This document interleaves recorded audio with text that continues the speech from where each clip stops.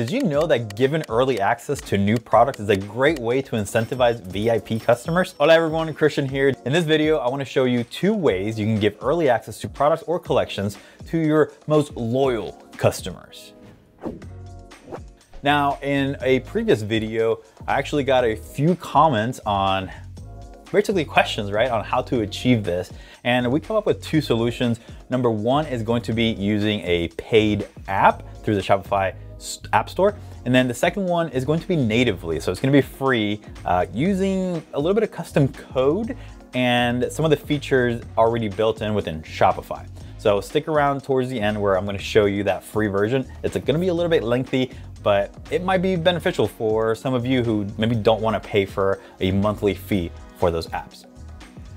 So the app that we are gonna recommend is called Locksmith. It is a powerful tool that helps you access control on your online storefront. It's one of the best apps on Shopify with hundreds of good reviews. It's easy to set up and it has an amazing support system that they respond pretty quickly. So the main feature of course is to lock your products and you can customize the condition that customers need to actually unlock it. So it could be using a passcode, it could be visiting before or after a certain date and time, uh, having a certain product in their cart, etc. Uh, the pricing, it starts at $9 a month and you can actually test it out for free for 15 days uh, to see if it actually works for you. So let's jump into the App Store, or not the App Store, our actual store and see how Locksmith works and what options we have within the app. All right, so we're gonna go head over to apps over here. Then already have Locksmith, Locksmith installed. And then as you can see, I've already created one lock. Um, but this is the basic functionality, right? So you wanna add a lock, you can search for products, collections, variants, pages, etc. So it's very powerful in what you can do. And you can also do a liquid lock. So if you want a little bit more powerful, more advanced settings, you can do the liquid lock. I'm gonna go back and then let me delete this one so we can redo it. And what I have is I already have a collection with a set of products that I want to sort of lock under, right? So we're gonna do, um, yeah. So we have Pulp Fiction shirt designs.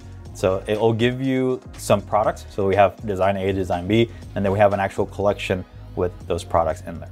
So you wanna make sure that you have checkmark enable this collection and protect products in this collection. So when enabled, Locksmith will automatically protect all the products inside of this collection. So create lock, and there we go. It will redirect you, re redirect you to the actual lock page. Now in here, you'll see that this lock, it will give you some announcements or some um, warning messages. It says this lock has no keys, so nobody can actually access this right now. And then it'll also say products in this collection will still appear in search results and collection lists. So that's very important to note because there are some settings in here that you can checkbox so that it doesn't happen.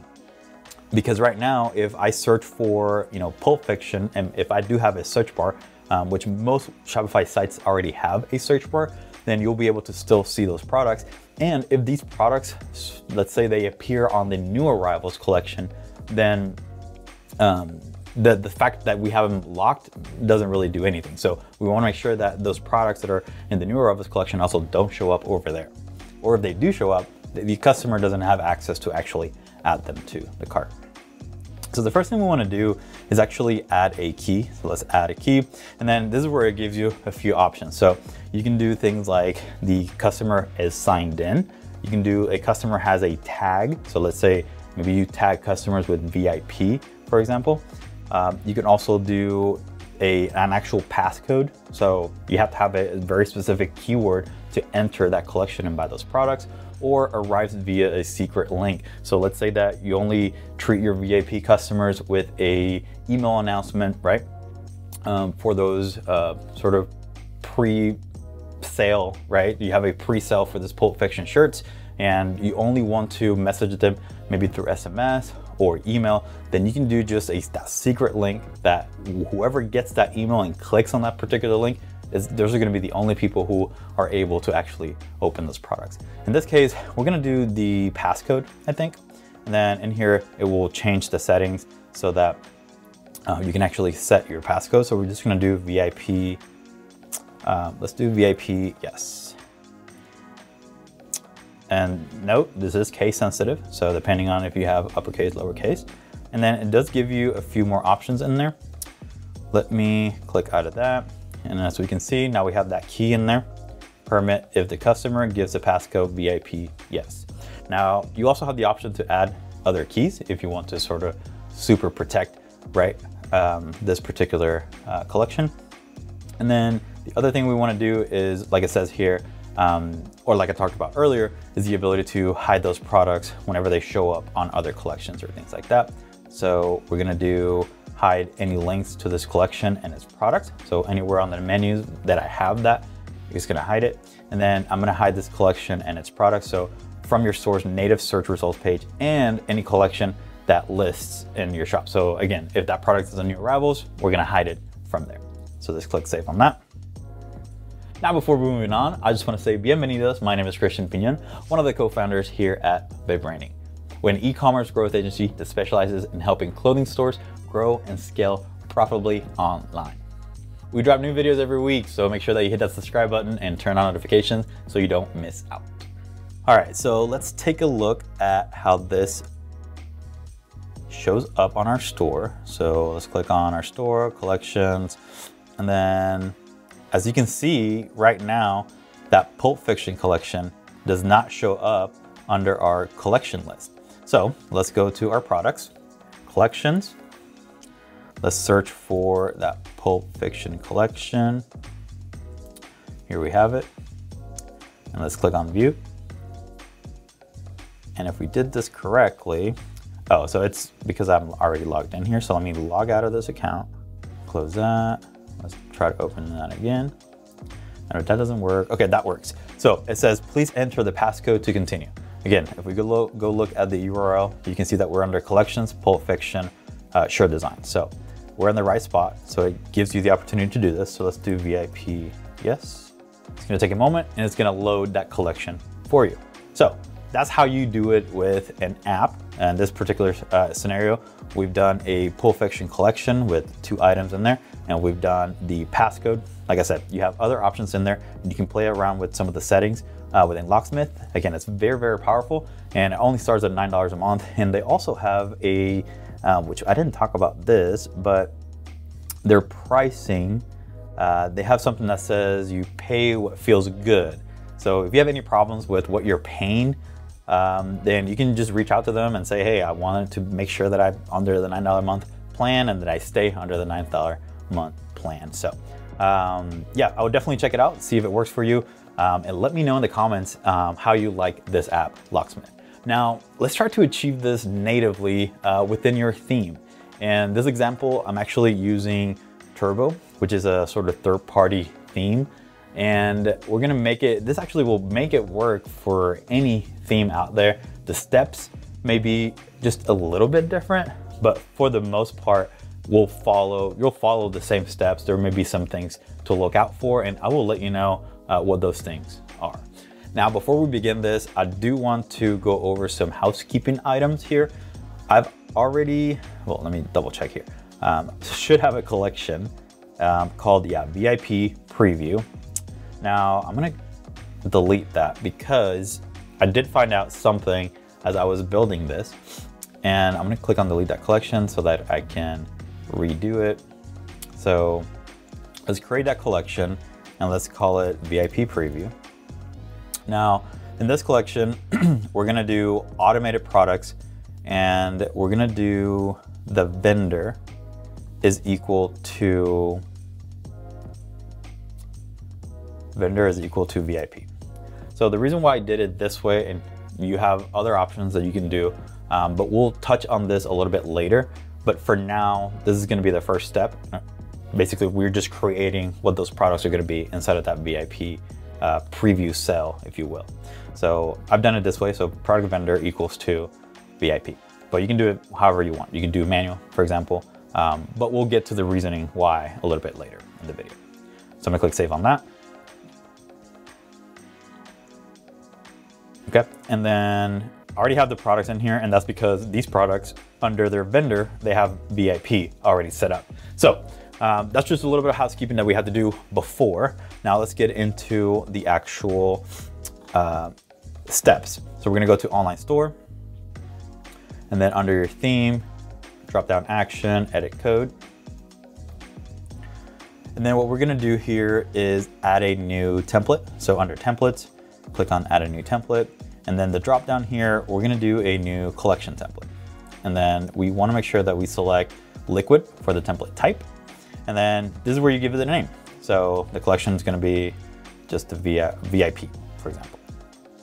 So it could be collection.vip.liquid. Create that template. This is gonna automatically populate um, some copy or some code for you. Um, we're gonna delete all this and we're actually gonna paste this, which you will find in the description below. I believe, yeah, from one of the, the things that you need to be looking out for is the, what are these called? Quotes. The quotes, quotations. Yeah. Uh, sometimes when you copy and paste code, uh, the quotations are, are going to be wrong. So you want to make sure, in, in this instance, uh, this is wrong right here. So um, we'll make sure that that's green. So I'm just backspacing those quotes and typing my own instead of doing the copy and paste. So basically what this says is if customer tag contains VIP, then show the section, right? However, it, it's illustrated.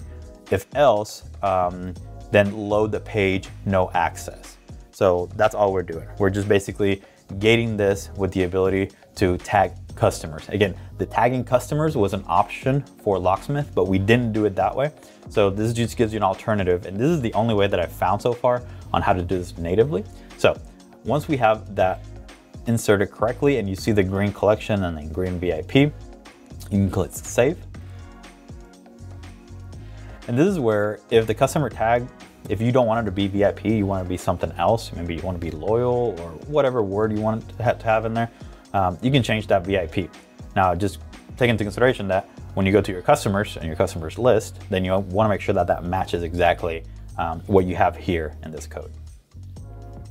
Same with the page right here. So the actual page will create, we'll call it no access, but in your sense, uh, or in your instance, you may call it something completely different. That's completely fine. Just want to make sure that you change the name within the code here. All right, so now that we have this set up, we're gonna go to our collection that we already created, which is the VIP preview.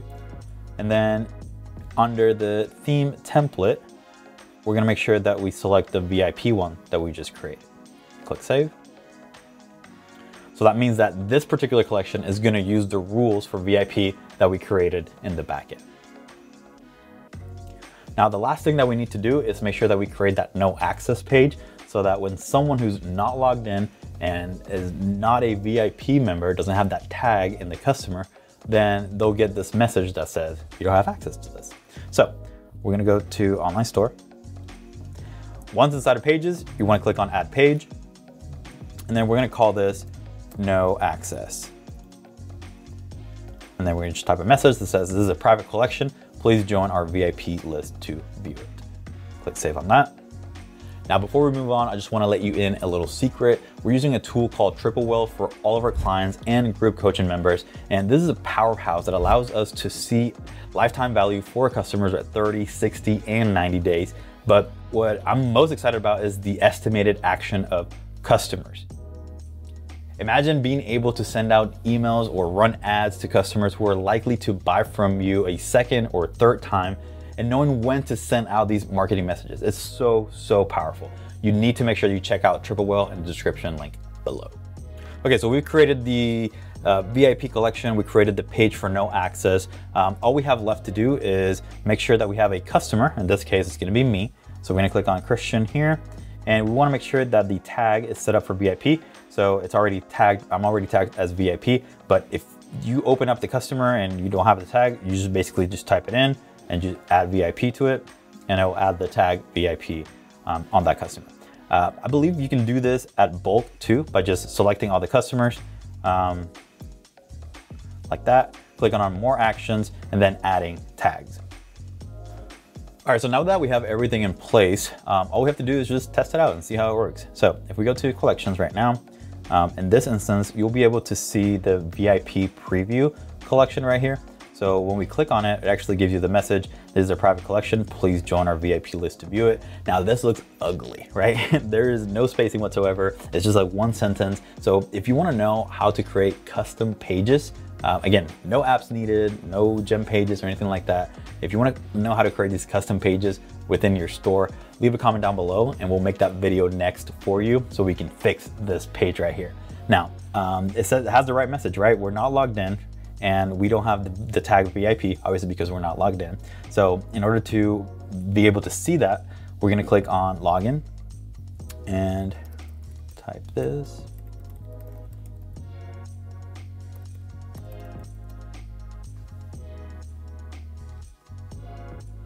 Okay, so now we're logged in. And again, it's my account. So we're tagged with VIP.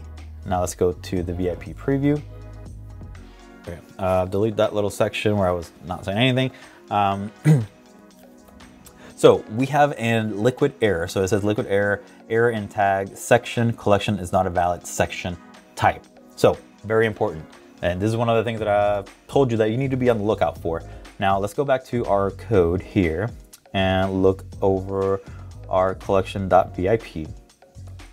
All right, so what's happening here is that the section collection doesn't really exist. The section collection, that's actually a template, right? So collection.liquid is under template. So if we go under sections, we'll see that collection, the collection one is actually called collection dash template. And this is where on your store, it might be a little bit different, right? The naming conventions would be a little bit different. So that's the only thing that you need to be paying attention to. So in this sense, we just need to add the word template here with that dash. So just same as this, collection dash template. So collection dash template and let's hit on save. And that should do the trick. Because again, we're saying that we want to pull up the section, right? So if we're calling a section, we need to make sure that the section exists within the section folder right here within your store. Now let's go back over here, refresh this page, and now we have access. So now we have access to the VIP preview with the th three products that we have in here. Now, let's go back to um, what I said before about why I did the VIP tagging on the vendors. And the only reason why I did that is because it's the only way that I could do, uh, for example, something that's very, something that a lot of stores have is that new arrivals collection, right? So I wanted to figure out a way to uh, hide those products from the new arrivals. And this particular theme, we don't have a search bar. Uh, we don't really need a search bar. So uh, we don't have to necessarily worry about that. But when it comes to these products being, for example, on the new arrivals, uh, the way that I, we had set up new arrivals, I believe it's like if the product is a dollar or more, then you know added to this collection. So what we've done is under the new arrivals, for example, where we know these products will eventually end up and we don't want them to end up there. We have the, yeah, so we have inventory stock is greater than zero for our new arrivals, but it also must match the fact that the product vendor is not equal to VIP. So that means that all the products that are tagged with VIP as the vendor will get rid of right, right here within the new arrival. So that's just a little workaround to make sure that these products don't show up on other collections. So that's very important. Um, obviously, when you actually launch the product, then you can add all the additional information um, because maybe you have things set up in the backend where the product has, you know, maybe product type of t-shirts, it automatically gets added to the t-shirts collection. So you just want to be paying attention to those those minor details um, because that means that those products will show up on those other collections um, if you had them set up just as you normally would for any other product on your store. All right, if you already have everything set up, uh, if you had any questions, please let me know in the comments below if this actually works for you. I'll give you two options on how to do it. Um, obviously that later one, it's a little bit more lengthy um, and you may have some questions there. So let me know in the comments below. And if you're ready for the next video, you can check it out right here. See you on the next one.